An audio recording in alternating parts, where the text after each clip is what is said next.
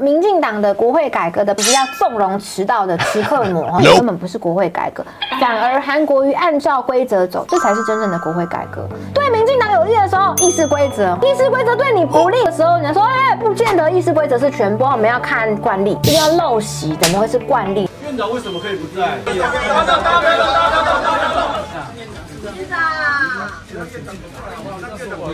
为什么洪生汉没有提早到现场等？点名三次不在，然后去怪院长。民进党的吴思瑶去占领民进党薛瑞元部长的备询台，他无法上台报告。你们已经上礼拜五闹过一出，你这礼拜一要不上班吗？王玉明委员来问，你们认为招委需不需要更换？人数来说应该是七比七，然后招委在投，但不好意思，因为民进党来的人数根本不够，招委甚至不用投票，他们就直接输掉。而福联盟它之所以可以做出养的程序，是来自于卫福部发的许可，每三年都应该做一次评鉴。可是它的评鉴停留在一百零七年，连他说是因为疫情完成评鉴需要至五到六个月。我们从现在往回推六个月，早就没有疫情啦。事发之后，新北市政府甚至没有办法确认这个保姆到底合不合格，因为资讯断裂。如果国会不改革，很多的真相就透不出来。Ladies and gentlemen, welcome the host. 欢迎收看今天的互来座谈，我是主持人历史哥李一修。我们今天继续来讲我们的专家讲堂哦。最近呢，台湾的政坛啊，这个闹闹哄哄的，哪里闹呢？啊，当然是我们的立法院来闹。今年啊，是一个朝小野大的状况。民进党呢，终结了过去八年呐、这个在立法院横行霸道，结果把立法院变律法局啊。那立法委员呢，根本就变立法官一样哦，非常的阿拔的状况。可是有的时候人的惯性是没有办法改变的。我们可以看到最近一系列在国会有非常高强度的这个碰撞跟冲突啊。近来呢发生了这两大的国会冲撞的案件啊，一个呢是发生在质询的时候呢，民进党的立法委员呢，他们称作叫做被没收质询权，但我们也可以把它称为立院绿委慈克魔啊，就是整个下午呢，突然之间呢、啊，六七位委员通通没有质询到，为什么？因为他们通通不在现场，等到会议都已经休息的时候，他们才出现在现场啊，这引起了非常大的轩然大波，而且很高张度的这个在朝野之间的攻防啊。另外一个呢，是最近整个社会非常广泛所关注的，就是凯凯案啊。这个凯凯其实就是保姆虐童案啊，哈，到底呃接下来怎么发展？其实主要还是在于说我们能不能预防啊，预防绝对胜于治疗。那但是在这个预防当中呢，哎，这里面啊，这个政治攻防就出现了，那就出现了这个什么抡墙啊、哦冲撞啊、推挤啊，甚至还出现什么报告只有两页而已啊这种状况啊，搞到现在卫副部长也出来道歉了，但是呢，蓝绿也不免大战了一场哦。啊，最后呢，讲一下这个大家都讨论这个冲强冲突的时候，有一件事情就被注意到了，就是国会的改革问题啊。但国会的改革问题当中有一个很重要拼图是什么？就是第三党啊，就是民众党白银呢，要怎么样来扮演这个角色？未来国会要怎么走呢？这就是我们今天整个要来关注这个图谱，就是来欢迎谁呢？我们要重磅来宾啊，我来欢迎乔欣。Hello，大家好。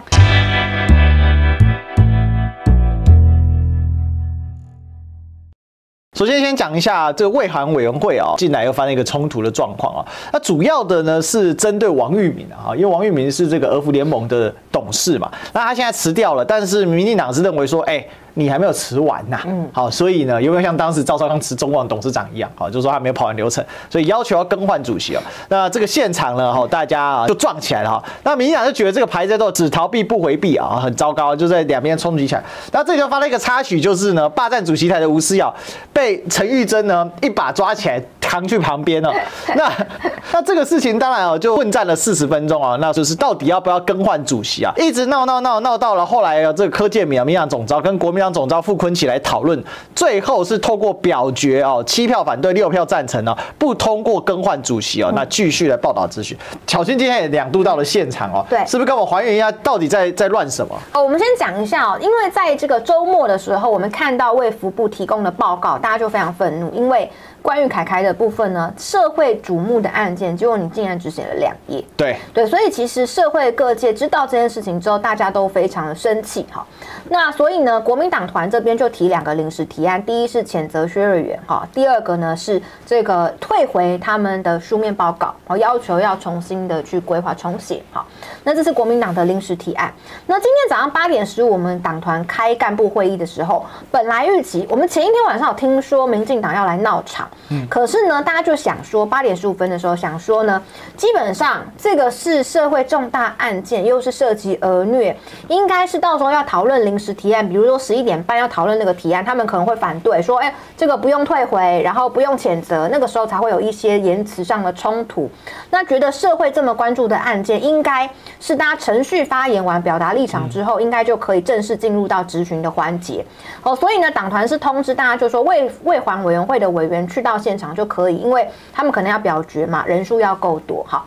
但呢，我就是在离开党团干部会议的途中碰到叶远之，然后呢，叶远之就说他要要来未还委员会，然后呢要保护王玉明啊，看有没有什么状况。然后呢，我们两个就走走走，一起回到了这个委员会里面。然后洪孟凯书记长也在。我第一次到现场的时候，正在进行程序发言，就是民进党的委员正在表示说，他们认为王玉明不应该当今天的主席，应该要更换才能开会，在讲他的理由。好，但是呢，那个时候大家都是坐着的，好，所以我觉得还算讲。我们就说好，那我们就等先回去哈，因为我是排第八个，所以先回去准备，想说晚一点再来。结果呢，多夸张！我刚回办公室，打开电视就看到哈，怎么大家已经挤在台上，挤成一团了？看了两分钟，嘿，没有看到解散的状况，然后我们就赶快又从我办公室跑跑跑跑跑跑回去卫环委员会来支援。那我觉得特别离谱的事情，为什么我们本来会觉得他们应该会让会议顺利进行，是因为今天。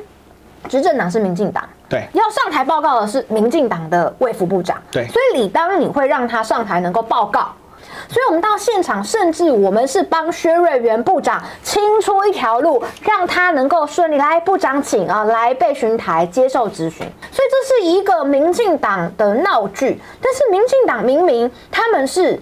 这个行政是他们全拿，不管是现在或是五二零之后都是如此，竟然会做出这种闹事的举动。那他大概是这样，呃，前面有两个女的立委哈，应该是林月琴跟黄秀芳哈，那他们在前面拿着手板抗议，就这个嘛，只逃避不回避这个。后来我们在这个地方啊，跟他们争执不下，我们大概做了几件事情。第一件事情是表达我们希望开会的立场。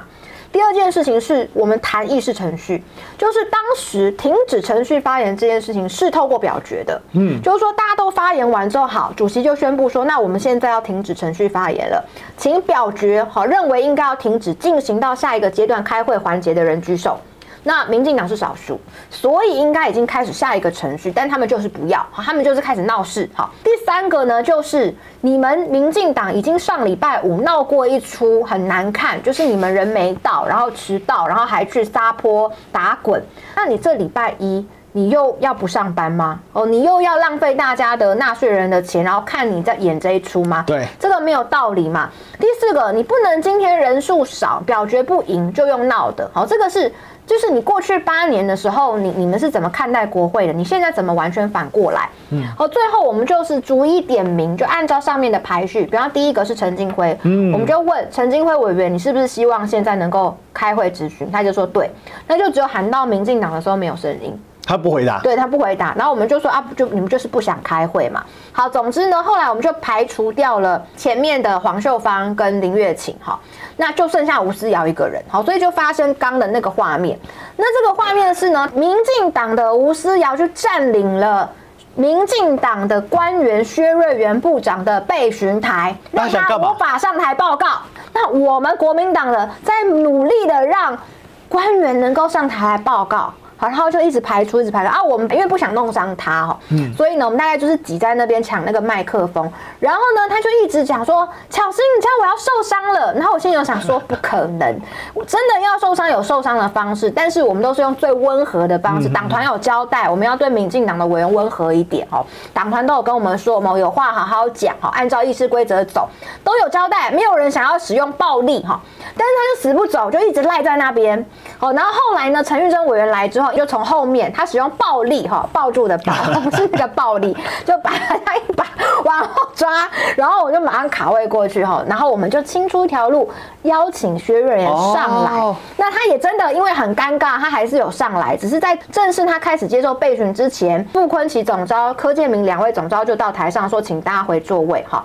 那呢，好，民进党就退回去了，然后我们国民党当然也退回去了哈。那就让两位总招发言。我觉得最好笑，但媒体没有登的一点是，嗯柯建明总招他就说，那不然就怎样怎样怎样好不好啊？就这样好不好？然后呢，民进党大家想说好嘛，对不对？这时候呢，国民党的新科立委，包含我记得是我罗廷伟、廖伟翔吧，我们就当下直接讲说，不好意思，柯总召，你今天又不是主席，你今天不是主席，凭什么说好或不好啊？这个你不是主席，你没有资格裁示。嗯他这时候也发现不太对劲，好，大家都在呛他，尴尬。然后他对尴尬，他就尴尬笑一笑说好了好了好了，然后就换副总召讲，然后两个总召表达完意见之后，就进行到议事程序，由王玉明委员来问。你们认为招委这个今天的主席需不需要更换？嗯就投票的嘛。对那国民党的反对更换，民进党的支持更换，但是最有趣的事情是，民进党有一个人根本没来。照理来说，以人数来说，应该是七比七，然后招委在投，然后我们这边可能会过哈。对本来应该是这样，但是会变成是说王玉敏支持自己继续做招委，啊，民进党也可以拿这个去说事嘛，这个也可以是一个议事攻防。但不好意思，因为民进党来的人数根本不够，所以他们有人缺席了，所以他们根本没有来齐嘛，所以他们七比六，招委甚至不用投票，他们就直接输掉。那既然输掉了，你看现场表决都没有人认，都大家是七比六认为不用换主席，是不是就要开会了？嗯，所以就开始下一轮的呃咨询。那我必须说，国民党的立委在整个质询问政的过程，没有人去羞辱薛瑞元。对，大家去看整场质询，都是认真的去点出哪里不够好，哪里需要精进，哪里可以改善。薛瑞元今天态度也没有很差，我坦白讲，今天他也是比较低调，因为他知道这个事情就是不能太夸张了对。所以双边针对这个凯凯的事件，我就讨论出蛮多重要的一个重点。那王玉敏有意识不中立吗？总之没有嘛，你最后结果来看根本没有嘛，所以那你都在闹些什么呢？闹的这些事情根本一点意义都没有嘛。对，所以我是觉得民进党这一出其实很难看。他我都不知道他为什么要来闹事，闹事的结果是什么？有对他们比较好吗？也没有。那你让我们双方好好讨论，国民党也没有去欺负你们家部长，大家就是针对这个事情不没有政治，就事论事，想要去讨论说怎么样能够让社会安全网做得更好。对，所以反而不想上班的，浪费大家时间的是民进党，然后去挡住了民进党的官员上台的机会，挡住了咨询的时间。我觉得这一点是蛮遗憾的。是，其实我觉得听完这个故事之后，就会非常荒谬哦，因为原来这个七比六票是民进党自己少一票啊，这也好了哈，那也造成一个结果是他们没办法继续的对王玉敏继续攻击嘛。确实，这其实，在前一阵子凯凯案当中，民进党抓住了这个王玉敏作为儿福董事这件事情，做了一轮猛攻哦，那带了不少的风向进去哦。那可是你自己的报告写的很烂呐，哈，那薛瑞元终于道歉了。呃，我先说啊，就薛瑞元的道歉啊，他是写在报告里面，他写的很清楚。我说我代表卫福部哦，为这样的缺陷导致一条生命逝去，向家属和社会大众致歉哦。那六出了九大通盘检讨中啊，哈，也点名俄服联盟社工访视可能不踏实、敏感度不足的一些问题啊。那当然大家知道，那另外也讲到中央地方呢这个态度偏差哈，那卫福部应该督导的责任也开始向社会致歉。可以说这一次真的调子放得很软啊、那大家当然最难过的还是凯凯就已经往生了嘛，这个是他在花葬前最后的一张照片。嗯，凯凯的这个家属友人啊，一句话就讲到说，哎，弟弟怎么住在土里面哦？令人很心酸。但大家其实最想知道的是，怎么改善才是其实这件这个悲剧哦？小心，你觉得怎么样？呃，我们今天有讲几个重点哦。第一个，我在咨询的时候，第一个谈到就是说，其实前几天那事件发生之后，有民众自发性的在卫福部门口送花给凯凯，然后呢写下自己心里的话。结果呢，隔天卫福部不知道是谁把花全部弄走了。好，然后引发网络上面很大的怒火。那我有问薛瑞元这件事情，他说他不知道啊。我问他说，那有没有其他人知道到底是谁做这个决定的？没有人知道。好，第一个这件事情很荒唐。那薛瑞元也承诺说，他也认为不妥。然后后来规划了一个专区，但是我觉得其实根本就从头到尾不需要专区，你就不要做这件事不就好了嘛？嗯，大家自发性的对凯凯，那希望表达自己的一个呃意见，然后一个抚慰之心哈，希望说送花给他。那结果呢，卫福部竟然不知道有人是不是把它拿去都丢掉还是怎么样，但总之都清空了。那第二个呢，我们谈到的是。这个儿福联盟，它之所以可以去做出养的程序，是来自于卫福部发的许可，每三年都应该做一次评鉴。可是它的评鉴停留在一百零七年，没有再更新了。哇，太扯了吧？照理来说，三年就是一百一十年，应该要更新嘛。。对，结果呢，我们问为什么没有更新？你依照规定就是应该要重新评鉴，他说是因为疫情。我就问说，那请问你们这个评鉴啊，从开始评鉴到完成评鉴需要多久的时间？他讲了一大堆，浪费我时间。但总之听到的结果是五到六个月。好，我算六个月。我们从现在往回推六个月，早就没有疫情啦。对啊，所以如果你在疫情之后就开始启动的话，早就完成啦。对，那但是你什么都没有做，这个就是问题所在嘛。你拿疫情去做推脱支持，可是我问你第二句话，你马上就架康了，就知道说你们根本没有认真在做这个事情嘛。八家的许可的评鉴才八家而已耶，能够做这个业务的 NGO 只有八家而已是。那你竟然每三年一次的评鉴，你到现在都还没有做出来，好，这个也是卫福部的一个很大的疏失。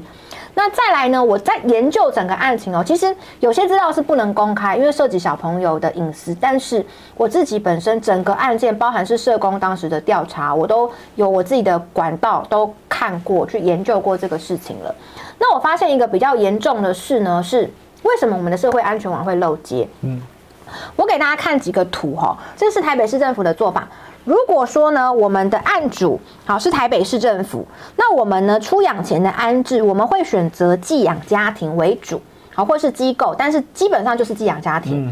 那为什么要寄养家庭呢？因为寄养家庭的门槛跟它的专业程度是高于保姆的。对，好，所以我们会希望由寄养家庭来做，然后出养出去找到收养的家庭。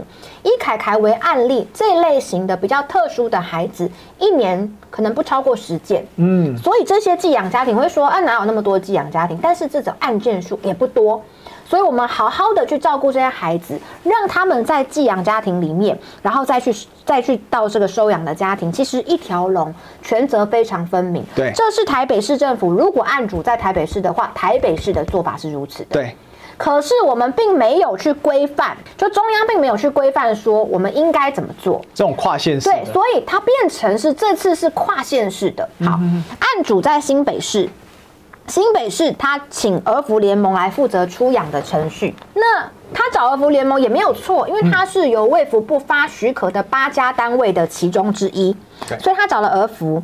那儿福呢，他去找保姆，可他没有找到台北新北市的保姆，他找到了台北市的保姆。原因是什么？我们不知道，但我们也没有规定他只能找哪一个县市，没有，所以他跨县市了。他跨县市之后，台北市社会局这边会针对保姆的部分，一年有四次的访查。对好，那儿福联盟这边，也就是案主委托的新北市这个部分，它会有十二次的一年的访查。对，但大家知道吗？这十二次跟这四次完全不互通。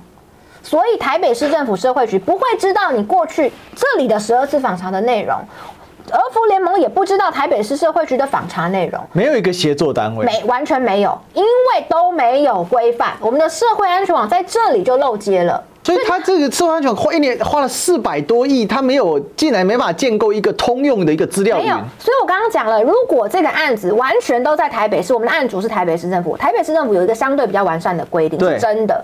因为它是双轨的对，但是我们并没有规定说各县市政府应该要怎么运作，可是执行单位又是县市政府，所以有时候会乱掉。对好像这个例子就很明显乱掉了哈。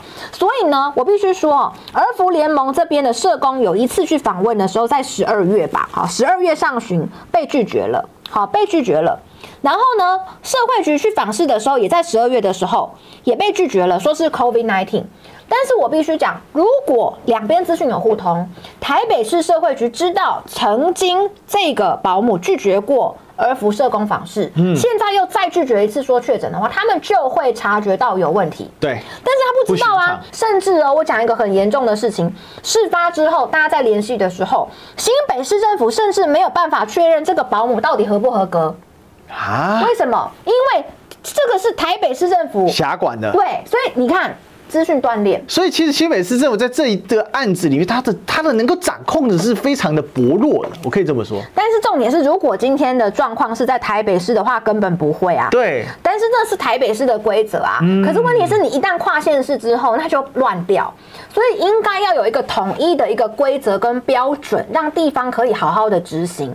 今天中央不要急着把问题甩到地方，而是我们要想我们的整体的规定到底足不足以让地方在执行的时候，因为地方就是负责执行的，对，地方能够执行的时候，能不能够完善的执行，会不会有漏洞？这个保姆就是运用了双边的资讯落差，去逃避了十二月的时候的检查，一直等到事发以后，我们才知道。我必须说，我们现在也在讲说什么儿童专责医生等等的，但我觉得我看了整个事情之后，我觉得儿童专责医生也不见得能够解决这个问题。以这个案件来说，你知道吗？因为它呢，就是发生在大概十二月左右这段时间，然后就一个月。好，就是十二月他就开始不让你来了嘛，他又讲各种理由，就在短短的一个月当中被虐死的。对，那只有一个月啊，那就算有专责医生，他为什么要带这个小朋友去看医生？对啊，而且他也在他了，他也在拖延孩子看牙医的时间嘛，是都被打断四根牙齿了。我我支持儿童专责医生的制度，我也认为说可以完善一些社会安全网的漏洞。但以这个例子来说，我们最能够解决的是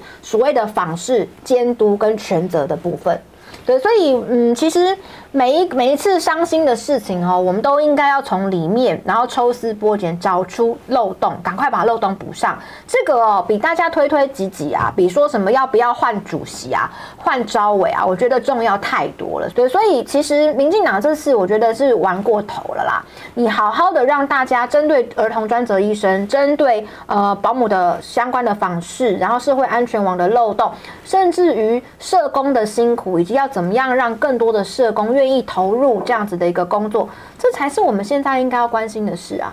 是，其实这个案件当然是个悲剧，但它悲剧的背后正凸显了就是过去国会八年哦功能性丧失啊，所以大家一直讲国会要改革嘛。那最近有个呼声说国会改革是一种国会扩权，我说是就是国会扩权，但它实质上是一种国会平权。嗯，为什么？因为执政的权利是远远大于立法权啊。我们是因为五院制嘛，事实上立法院是某种程度，当你。监察院不工作的时候，他就被阉割了啊。那讲到国会改革，我们的国会的院长啊，立法院长呢，韩国瑜呢，延上啊，哈，为什么呢？不只是声量延上，也被民进党延上啊。怎么一回事呢？哈，大家最近也知道哈，对，院长不在哈，这一开始巧心在讲的哈，怎样了？民进党带人啊去撞门啊！我是想说，还好邱颖改书面，要是邱颖在的话，会会不会来一个飞踢？嘣！不过邱颖现在因为说真的，他这几年身体也没那么好了哦，可能没有办法像以前那么这么凶猛了。不会啊，他还是在张昭伟的时候，张启凯只是问那个中油的存量，他就说不可以讲，没有昭伟这样当的啦，你不可以要求官员可以回答。拿什么不可以回答什么？他太夸张，那个才是有问题的。民进党都没有意见，那才是剥夺别人的咨询权。邱意莹作为招委剥夺了张启凯的咨询权，那只是因为张启凯是民众党的，好像就我们比较没有那个。但是我今天党团开会的时候，我还要帮他讲，我就说今天要协商的话，这件事情也应该要提出来。你们民进党怎么没有讲说他咨询权被邱意莹剥夺了嘞？对啊，这超级多媒体拍在那边，但是。表演就上头了哈，那我们就看到，你看哦，带头冲的就是洪生和林楚英嘛啊。那洪生，你看哦，韩国瑜我要咨询啊，还我咨询权，然后对立委在一番痛诉啊，非常生气啊，然后甚至呢还很生气啊，说什么呢？你看韩国瑜啊，就是在吃水煎包，有没有要见外宾？为什么呢？不见我们呢？你看呢，韩国瑜提前休息啊，引发不满啊。你中午就是在吃水煎包嘛哈，可是那要怎么样？中午本来时间到休息，是你们下午的问题，你可以把扯到中午，那当然这个闹剧哦，后来很好笑。后来韩国瑜从后面鱼贯而入的时候，这个红山瞬间呃院院长我们要咨询，然后最好玩，我看那个陈冠廷是这样，瞬间不说话，然后林楚英在旁边哦。我穿高跟鞋会扭到，反正总之各种荒唐了哈，所以网友就哭诉他们有没有中午吃水煎包想独吞你啊？没等我就散会，民族水煎包不辣，谢谢。好了，我们先让巧心来评一下。其实会发生这样的事情，我们也非常的错愕跟惊讶。可是呢，其实我觉得呢，要怪就第一个先怪自己哦，没有提早来；第二个要怪谁？其实就是怪陈廷飞嘛。那陈廷飞他本你要质询，那你要改书面，那改来改去的，你弄到罗明才也到不了，然后红山后面全部都这个连连环车祸嘛。那所以第一个问题是哦，你会发现民进党的立委在这几年哦，现在也一样，民进党执政的时候，他们不想质询，他们就直接改书面。因为你知道，立法委员咨询面对面，跟你只是写书面，这完全不一样。不一样啊写书面啊，也是别人帮忙写，除非你什么十万火急是你今天当天真的到不了，你还可以换顺序的欸。我们立法院的规定是我们不同的委员之间可以调顺序，只要双方同意，就像陈廷飞跟邱意莹对调，嗯，顺序可以对调。好，那但是呢，我们没有说谁几点几分上台。以前我们在台北市议会的时候质询会有，比如说你是呃六点三十到六点三十五，你就在你的时间到，好，那前后那怎么样？那是别人的事，反正你的时间到就是你上台，这是台北市议会的规定。可立法院没有，立法院只有顺序。没有时间，嗯，所以他就是按顺序，反正我按顺序排到你的时候，你没有到啊，点名三次没有就往后了。所以为什么我们总咨询都一定会提前等？好，假设一个人十五分钟，那有人讲五分钟就走了呢？那讲五分钟就走了，下一个人不就没接上？那就一样。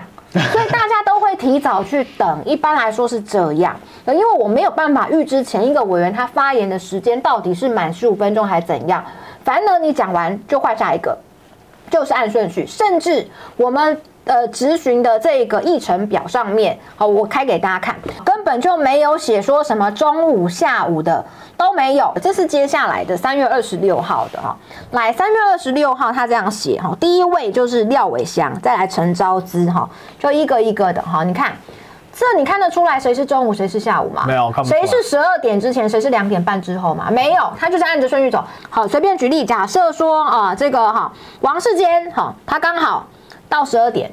呃讲到超过十二点的那一位，就会是这一个呃上午场的最后一个人。嗯，然后呢，下一个人就两点半开始，因为他的休息时间就是十二点到两点半，但是最后一位可能会先讲讲超过一点点，他有一个缓冲期。哦，所以呢，像那一天的状况就是，为什么最后一位是王宏威，而而不是陈廷飞一直说我是上午最后一个，但韩国瑜不让我讲，我直接打脸他，因为王宏威委员他讲到几几分，十二点零七分，对，所以他已经超过十二点，他就是那一天上午场的最后一个。这不是议事人员要搞你或干嘛的，他就是按照时间顺序。会议记录都有啊。都有，这已经是行之有年了。他们都是很资深的立委。那我们按照议事规则也很清楚，就是唱名三次不到就弃权换下一个人，你可以当天可以改书面报告。那但是为什么洪生汉没有提早到现场等呢？好，这就是一个问题嘛？你怎么知道前面的人一定会来，一定会讲呢？你不知道，所以你必须要提早等嘛。那你自己没有去等，然后呢，你点名三次不在，然后呢，你又说去怪院长，这一点道理都没有。所以国民党的立委，呃，从这个从假日开始，大家就不断讨论说，绝对不能不按议事规则走。因为你一旦不按议事规则走，那请问委员会是不是以后要调整？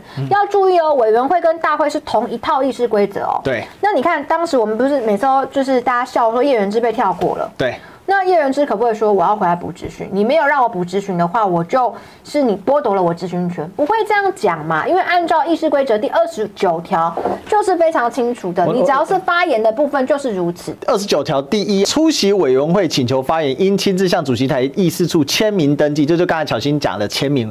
其实不管在委员会或者是咨询都是一样的，依登记顺序发言，经双方同意者得互调发言顺序啊。但就是刚才所说到的这个互相调换的部分。第二个是登记发言之委员，经主席唱名三次能不在场者，则视为弃权哦。那第三个就主席对于讨论适当时间宣告截止发言之登记啊，所以。这个写的那么清楚，但是老柯说啊，柯建明啊，民进党总召说，no no no，这是讨论，这不是质询啊。我看他们写了写了一整个周末都在写这个。说咨询里面可以不经三次唱名还继续的规则在哪里？一条都拿不出来。质询其实是开会啊，对啊他们为什么把质询当成不是开会？这是开会的一部分。对啊所以这个二十九条是是它规范了所有委员在所有会议里面的发言程序啊。嗯，所以他自己在那边乱解读一堆，这种是倚老卖老、老屁股，是老海啦。我觉得是老海对民进党有利的时候，议事规则哈，黄国昌你都不懂啦，我送你一本议事规则，我们要开议事规则小学堂啦，多 K 书。议事规则对你不利，你们自己出包的时候，你说哎，不见得议事规则是全部，我们要看惯例哈，这叫陋习，怎么会是惯例呢？我我退一步讲哦，如果今天有委员真的他有身体不适的状况，你你可以立刻跟后面的对调，如果来不及的话，你可以跟主席讲，那或许他可以裁量要不要往后。过去确实曾经有行政院长在质询期间他。肚子痛，对然后呢，主席就说啊，那我们晚一点，然后再重新回来，先休息哈，五分钟之后、十分钟之后再回来。那人家是身体不舒服，那请问你是怎样？你们到底有哪一个人是要去落赛所以晚到？没有嘛？你们说不出来。所以如果你只是没有特别原因的晚到，那当然就按照历史规则走啊。所以国民党的都觉得说，你如果今天你想要补考，不是不能给你机会，你觉得咨询权很重要，不是不行，但是你要先承认你们当时有错。你今天如果知道说当时我们就是晚到了，不好意思，那我们希望给我们一次机会，然后我们还想要继续去咨询的话，他可以讨论啊。可民进党有吗？民进党说我们是受害者，都是你们是加害者，那这种态度。有有什么好谈的？所以其实今天哦，我觉得呃，这个政党协商里面有一个 mega，就是说呢，讨论了一个多小时，说没有结论。其实没有结论就是他的结论了。好，这件事情的结论就是我们没有结论，但是给你们一个台阶下。好，不要说我们大家都打脸你哈，也没有，我就没有结论。那过程是这样子，因为国民党立场非常坚定，已经有十几位委员都表示说绝对不能让，因为这是你们自己违反规定啊。那为什么是、为什么是还可以，我们还要去同意你这件事情？这个没道理嘛，你也没有承认错误。所以呢，今天呃找了就民众党、国民党、民进党。那民进党当然是他说希望校正回归嘛，柯建明说的啊。民众党就是黄国昌进来没多久就出去，他更不想参与这件事情就走了。好，那国民党这边表达的态度很清楚，就是我刚刚所讲的那样子。所以那就没有，因为政党协商就没有结果嘛。那没有结果意思就是维持原案嘛。所以呢，柯建明就摸摸鼻子说：“那等他冷静一点再来谈。”那请问什么时候再来谈？就没有了嘛，就过了嘛就过了嘛，这件事情就过了就好了。所以算是我觉得处理得还不错。就是一来，院长他确实他可能有人提出，哎、他希望有执行权，从宪法要赋予执行权的角度，我们要来讨论看看这个是要怎么处理。嗯但是这个必须因为议事规则的关系，所以你必须要是三党的总召都同意了，那我们才有可能说好，那让你补救。那但是似乎是嗯白的不想理他，蓝的也觉得明明就是你的问题，所以那就等于没有，就维持原案。那民民那个民进党就要一直讲说啊，等他冷静再谈，好，那是他的说法，他说冷静再谈，但我们的说法就是我们的立场很清楚，我们没有要跟你谈，而这个事情就这样。所以虽然最后叫做没有结论，但其实没有结论就是结论了。没有结论就是结论了。但是当然。他们的行为是合法的吗？这另外一个问题哦。我去把这个立法委员行行为法，哎，大家没想到有这一条法律吧？哈，民国九十一年修订的哦，立法委员应秉持理性问政，共同维护议场及社会会议室秩序，不得有下列行为：一、不遵守主席规定所做之差事。哎，那天洪胜汉跑到台面下一直在跟韩国瑜叫嚣，他不就违反了这个第七条第一款了吗？嗯，那第二个呢？哦，这辱骂的啊，这个第三个。发言超过时间也要制止啊、哦，破坏公务也不对，占据主席台阻挠议事，哎，今天吴思瑶不就是占据主席台阻挠议事之进行嘛？所以吴思瑶今天也犯了第七条记之第六项，哦，那对行行使职权议事人做不当的要求或干扰，哎，事实上这条也是哎，他们现在很多就把那个发在这个主。这个议事人员的身上嘛，所以我觉得老柯啊，你要小心一点哦。而且事实上呢，就讲了半天哦，下面根本全场当时就只有一位立法委，那个人叫做韩国瑜嘛。那你看看多空啊！但是我们很多人在讨论这个事情的时候，有两派的意见啊。哦，一个就是新的民意是不容许这种情形发生的，大家希望看到是你就是认真给我开会，不要这么开会开了半天，就院长在上面，议事处就是立法院的这一些公务人员在上面。院长、行政院的团队在这边，结果现场异常是一片空荡荡，上面只有记者，这是让人家觉得这个是国会就长这样嘛？当然，这牵涉到另外一个问题是，这样能不能算是充分利用时间？好，那惯例能不能前惯例？我认为讲白了，就新的民意好像对于现在国会的要求跟以前是不一样的。看到这个场景，好多人都在骂，迟到就迟到，对不对？浪费公帑，浪费纳税金，你们还没大小声什么？难怪这次民进党被骂爆。可是确实有个新的民意浮现，跟过去称为惯例或甚至叫陋习，事实上有很大不一样的背景。第一件事情哦，是这个开会的部分哦，林静怡她讲的绝对是不对的。什么叫做别人的表演不重要？其实像我们都一定会去去听别的委员他讲什么。是我举一个最简单的例子，如果跟我重复啊，我就不讲啦。就如果有一个委员他讲的议题跟我一模一样，那我干嘛还讲？我就抽题了嘛，我就换题了。我当然会看前面的人说了什么，这很重要。那只是说，因为我们这个立法院它是一个院区哈，对那大家都是在这个院区里面活动，所以这个地方是异场。嗯，可是呢，我们在每一个委员的办公室，我们都有及时转播的电视。那所以说，一般来讲，别人的质询时间，我们就是在立法院里面，助理会看或我们会看，那看立法院里面他在质询什么。好，人不一定会在现场，因为刚立法院的行为法有讲嘛，未得主席。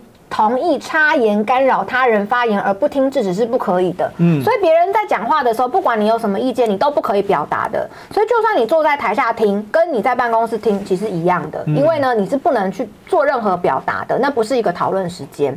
所以呃，在立法院的大院这么长的时间里面，它会有分。比方说那一天呃那一天的上午十点的时候，议场里面很多人。为什么？因为十点的时候在宣读议程，那宣读议程的时候，像当天就有宣读到包含韩国瑜领衔提案的那两个，就是呃这个环台快速道路跟高铁的部分。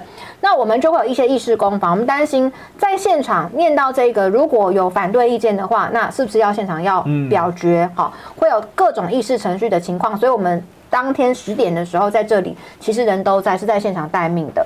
那他他把这个议程处理完之后，进到个别委员的咨询时间，那那个时间就是留给个别委员的。好，所以现场不会有人，可是你人要到啊，就是你当天要咨询的人人要到啊。嗯，好，你这个就是跟大学上课一样嘛，老师点名的时候，那你不在，那你要怪老师吗？不能 不能这样嘛。所以你是大人了，你要为自己负责。你想要听谁的咨询，要不要听，那也是你的决定好。只是我觉得你不宜说别人的都是表演哦，这是不对的。那你要找到不找到，也是你个人的决定，你对你自己负责。那如果你可以算得很准，你刚到的时候就轮到你，那你很棒，你很厉害。但是如果你觉得你做不到，那你就要早点去等。如果你也没有早点去等，导致于你三念名字三次错过了，那你应该要自己承担，而不是跑去闹说还我咨询权这种小朋友幼儿园的这种吵架方式，这个没有没有任何意义。嗯，对，所以在立法院里面，大家都视为是一个独立的大人，没有任何一条规定要规范委员什么时候一定要坐在哪里。对，就是按照程序走。那至于在这个程序之外，你要怎么做，那是你的事，但是你永远要为自己的行为所负责。好，这是我觉得最大的原则。我想这次明月会炸开，其实有个点就是啊，你明明个你你唔对，啊，你演戏被凹公你点哦，这人家就觉得说啊，你就不对，你还硬要凹说你对，但是大家很生气。那最扯的是柯建明啊，哈、柯总招呢又又又来一一招大绝，你知道吗？他说不对哦。这个当然是院长跟议事人员的错啊！哦，他怎么讲呢？他说检讨韩国语议事人员错误，当然是国会改革。我们刚才谈的改革是说，那国会是不是应该怎么样去调整？哦，比如说像这个议会哦，但台北市议会的话是分组嘛，一组然后时间到，然后轮流上去哦，这个质询嘛。那他就讲说，这个你是没收质询权，我今天检讨你，看哦，这个陈廷飞呢去议场的时候，议事员说他接外宾啊，所以他改书面质询，但是议事员太晚通知后续议员呢，才会这样骨牌效应嘛。那就是韩国瑜呢疏于管理且不熟悉议事规则啊，是议事人员的怠惰啊。那他说呢，像黄国昌了解事情真相，还反问说啊哪一条法规议事人员啊不能检讨更正呢？所以你看他这一次啊，好这个把黄国昌也搬出来啊，修理议事人员呢。他说啊，这过去都没有立法院长犯错，就这一次出错，这是宪政惯例跟国会文化。所以柯建明说啊，你看黄国昌跟朱立伦搞蓝白河，结果蓝白河就同流合污，应该好好面对国会改革啊。呃，这这都是院长跟议事人员的错。哎，国会改革，国会，我们讲了很多国会改革哦。那这个柯建明现在把这个炮口对准了韩国瑜，他想干嘛呢？不是啊，结果民进党的国会改革的版本就是要纵容迟到的迟克魔哈，这个没有没有道理嘛。但国民党版的国会改革是要求行政官员不能在立法院说谎，哦，这个是完全是天差地远的。所以我觉得呢，其实像柯建明今天也收了啦，柯建明今天就说哎呀，没有谁对谁错，他发现说这个占不到便宜嘛，讨不了好嘛。然后社会各界对于民进党的观感很差，然后像洪生汉连连续发六七篇文章，底下都被洗版，对林静怡被洗版，吴思瑶被洗版，大家都被骂。你在这个议题上面争执越久，只是会让人民越看不下去而已一点必要都没有。而且这也根本不是国会改革，反而韩国瑜按照规则走，这才是真正的国会改革。再来，今天为什么民进党他们的立委一直要去改书面？就你好好执询不行吗？每一个人如果都把自己的十五分钟执询满的话，今天会发生这样的事情吗？就不会嘛。民进党的立委根本不想执询嘛，所以他们去说还我执询权，执询是宪法赋予我们的权利的时候，我们就打开那个议程表。改书面的全部是民进党的啊，国民党的每一个都很认真，尽可能的把十五分钟讲满呐。可是就是你民进党的一直不想咨询，然后一直去改时间，那最后改到车祸了，那你还要别人帮你扛吗？对，所以我觉得当国会改革跟这个纵容迟到两件事情粘在一起的时候，对柯建明也没有帮助，对民进党也没有帮助啊。是哦，所以我们可以说啊，这个柯建明哦，现在反而呢，这个太过于倚老卖老哈，那整天就在那边搞事啊。话说回来啊，韩国瑜这一次在这个冲突当中呢，民进党有一些过激反应啊，比如说郭国文呢，他也是这一次车祸的其中一位嘛，他为了帮自己讨公道，他写的《梁阳茶》写了七点，前面几点就算了，反正他都在讲刚才讲过的事情，但重点是第七点，大家看都看不懂啊，也讨论好几天啊，但到目前为止，我觉得还在演，他们还在酝酿啊，嗯。什么呢？就是针对啊民主基金会的董事长，好，那过去我们都知道按惯例，民主基金会董事长就是立法院长，好，那给院长惯例形式，那既然韩国也不重视惯例。那我们民主基金会呢就不一定要给韩国瑜。那对于这个啊，我就看到这个蓝委赖世宝就直接呛说，那如果这样，我就把你预算砍成一块钱。嗯，那可是其实也可以看到，就是说在国会里面，民进党过去要把你有很多很奇怪的惯例，然后突然之间呢换了党之后呢，那些惯例就不是惯例了。呃，我要讲一下啊、民主基金会当时成立的时候，为什么要有这个由立法院长担任董事长的惯例呢？我要再强调哦，有规则的时候按规则，没有规则的时候按惯例。那为什么要有这个惯例？你惯例一定要有理由，不然就变陋习。如果你的惯例是有它一套背后的运作逻辑的话，那它是一个好的惯例，可以继续维系下去。但如果你没理由，那叫做陋习，那根本不叫惯例。民主基金会的董事长为什么要按惯例让立法院长担任？是因为当时在成立的时候就希望永续性，因为民主基金会它的经费都是来自于外交部的补助，一年补助上亿元。那他们就会想，如果说立法院假设有朝小野大各式各样的情况，会不会这个基金会就没有办法运作下去了？所以国会因为是负责审预算的单位，所以国会能够决定外交部能不能够固定的补助民主基金会，对外交有。重大的影响，那我们希望能够稳定运作嘛，所以他们就会思考到国会里面那最大党是谁？基本上就是立法院长所代表那个党嘛，因为我们立法院长是国会投票投出来的嘛，所以在国会里面的大党他会担任立法院的院长嘛。那所以如果立法院的院长是国会最大党来担任，那国会又怎么会？去不给民主基金会外交部的补助呢？就变成他可以通过了嘛？这个惯例是一接一的。好，所以当你不循惯例的时候，那我们是国会的多数党，我们就可以把预算全部砍光。嗯，那就就就变成是这样，所以这个惯例它是有背后的逻辑的，它不是一个随便想出来的。再来，我们要讲。你今天哈，为什么民主基金会里面它还有一个部分是政党能够按照四年一次的投票比得票比例来申请政党补助？好，当然它有原则要点。那我当时是认为说，民进党根本没有按要点，你把它变成你的选举侧翼小金库。可是不分政党，它是可以按照比例来申请。为什么？一样嘛，希望能够让民主基金会顺利的运作。好，所以不管是大党或是小党，按照比例原则，我们都希望能够有一些大家的互动，良性的互动，对于推展外交有帮助的部分，能够来进行。这样，对于他民主基金会固定取得外交部的补助预算，在立法院里面，他就比较不容易碰到纠纷，被删除，或是被杯葛，或是被挡住，让他运作不下去。所以。立法院长担任民主基金会的董事长的这个惯例，它是有一个整体背后很完整的逻辑，不是乱讲的，不是乱想的。所以这个郭国文他这样讲，完全就是搞不清楚状况，去把惯例跟陋习绑在一起。对不是所有的惯例都是陋习，但是有的惯例是陋习，要分开来看。所以因为迟到，所以要等你，这叫陋习，这根本不是惯例。但是民主基金会为了要稳定运作，所以让最大党。选出来的院长担任董事长，维持它的稳定性，这个叫做惯例。其实这关系到民主基金会的核心逻辑，就是用国会做外交嘛，然后做一些民主民主交流。那你如果不是国会会议长来担任的话，那请问你这个功能性何在呢？我是觉得可恶的地方是在哪里？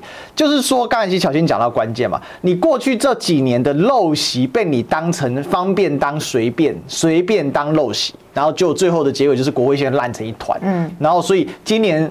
你突然失去了国会最大的位置，然后柯建明从然从地下院长变成啊，又退回去当一个柯总召的时候，他不习惯嘛，所以搞出了一堆狗屁倒灶的事情啊！哈，那话说回来，当然国会要改革哦，还有一个非常重要的第三势力就是民众了。今天国会非常简单，蓝绿白，哦，那白的在哪边，哪边就获胜。所以国会未来改革的法案。白银的这态度很重要。这一次呢，我们可以看到蓝绿在啪啪啪啪啪乒乒乓乓的时候呢，这个白银的委白委啊，陈昭之呢委员他就在旁边哦，他也没有掺和这件事情啊。不过这个我事前问巧心啊，巧心说陈昭之委员其实大家都很友善，最近好像蓝白在立院其实合作的很不错。其实合作很不错啊，所以就证明了我们先前讲的嘛，所谓让不让招委那个不是重点，重点是我们可不可以互相在立法院的议题合作。这个我没有办法把完全保证对，但是我。今天在现场印象中，陈昭志委员好像有提临时提案。那这个提案呢要过，基本上国民党的委员也必须要一起签署，因为我们的规定就是临时提案是你本委员会的委员总共要有三人，那他们一定都只有一个，所以他们的提案当然就是双方要互相才有可能通过。好，那至于说他坐在这边呢，我们也绝对不会有人说哦你是冷眼坐在那边看，因为跟民进党的战斗本来就不是属于民众党的责任，他们是只有八席的小党，我们不能说你们没有上台跟他们去这个清空主席台，你们怎么样？不是，这个是我觉得我们是五十四席的对上五十一席的，我们自己要负责任，要去清空这个战场，要去避免民进党的闹事，不然我们凭什么说我们自己是大党？好，大党自行不做，还叫小党来做事，我觉得这个不对。好，所以呢，其实今天特别感谢陈昭之委员，因为在询问包含几件事情，比如说哈程去发言要不要停止，然后要不要换招委，那其实民众党都是站在国民党这边的。那我也必须说，国民党一定没有让他失望，因为王玉明委员他在主持议事的时候，并没有不中立，并没有因为他过去是俄盟的董事，他也已经辞掉了，为了要中立。然后呢，就护航谁都没有，你们自己去看，真的经得起检验。所以也我我觉得王玉明委员在议事上面也没有愧对民众党给他的支持哦，大家双方是合作的。所以我觉得主要是在很多的议案啊，不管是法案。临时提案或表决，那如果民众党愿意支持我们的话，当然效果就会比较好。所以我觉得蓝白能够在立法院针对议题做合作，其实是很难能可贵，也非常重要的。我觉得光这个形式，某种程度就国会在改革了，嗯，因为否则本来就是民进党进软嘛，嗯，就像立法会一样。那当然了，大家都知道啊，就是说，呃，最近因为柯文哲跟蔡英文见面嘛，所以有些人就是说，哎，会不会接下来会出现一些蓝白合作上面一些状况啊？那这个事情呢，哈，其实很有趣啊。黄国昌就讲说，哎呀，这就是侧翼的见缝插针呐，哦，侧翼到底有没有见缝插针呢？最后我们就用这个做结论啊，你知道吗？最近我又抓到一大堆这网军账号，我现在没事就喜欢去打蟑螂，哈，就发了一篇叫做“打蟑螂人人有责”啊。为什么？因为这个磁刻膜事件啊，明显这是被喷到歪头啊。那医院倒的之后，就是风向完全倒不过去哦。那我就看，哎，奇怪，怎么几个人那个意见特别的激烈啊？那大家可以看到什么？不用怕，还一定有更违反惯例的做法。每天准时敲锤，太对得起啊国民党了，也不符合他自己的惯例啊。然后呢，他什么罢免九空院长哦，反正就觉得奇怪，这发言怎么怪怪的？然后去查了一下这个账号，哎，大家有没有发现？这是标准网军账号，什么东西都没有啊！哈，这空空荡荡如也啊。所以这个当然打网军，这肯定是巧心的专业户。我要讲一个新闻哦，是今天最新的，就是呢，邱若华桃园的立委，他今天有个最新的事情是，他在选举过程当中呢，有桃园地检署调查呢，有一个网军公司创立了一百三十七个人头账号，恶意操作说他跟黑道挂钩，甚至还说。刑诉邱若华团队与黑道挂钩，散布案子，如果没有支持邱若华的话，可能会有人对你开枪啊！这种恐吓公众的言论，好，现在抓到了。然后呢，现在目前侦结哈，所以不要讲说我们抓这些啊，不见得是真的。邱若华选举期间就被网军攻击，现在已经剪掉，都证明有这件事了。所以网军是真实存在，大家不要再不相信了，好不好？那这国昌老师在讲说绿侧翼见缝插针，那那个肯定是真的了啊。那最后讲一个，就是是网军认知作战最厉害就是民进党啊，大家也知道金门帆船啊，竟然还有后续，可是为什么没有消息呢？因为民进党就是透过。这个网络风向把它带过去嘛，哦，这件事让大家知道一下了哈。就马祖的这个其中一个岛屿叫东引岛哦，被插上了五星旗，结果民进党的国防跟海巡完全互踢皮球，完全不管啊。这个就我们今天，你如果国会不改革，很多的真相就透不出来。那我觉得整个在往正向的道路上在发展哦，那我们也谢谢巧心哦，就是继续来努力了啊。那我想。接下来最重要的还有一些关于国会改革的议案要推行，然后民进党一定会在很多的地方进行强冲突，大家把它搅混啊，比如说这个不断的跟你吵架，可是实质上国会的改革已经在启动了，我觉得这对我们整个政府啊是运作是大有帮助。就像我们刚才讨论呃这个凯凯案的时候，我们可以讨论的很细致，那就因为有扎实的监督，官员才会认真做事嘛，不然官员这边。装死啊！哦，我想这是一个很重要的。好，那我们今天呢，这个专家讲堂我们就聊到这里啦。哈，那这个最后呢，记得帮忙按赞、订阅、分享、打开小铃铛，最重要是加入我们的会员哦，让我们有更多粮草可以做下去。也欢迎大家可以超级留言哦，超级感谢啊，留下你的意见。也欢迎大家可以线下的赞助绿界 PayPal、微信、支付宝、邮局啊，有更多粮草，我们可以做得更好。我们今天再次谢谢巧心，谢谢。那我们期待下一期再相见喽，拜拜。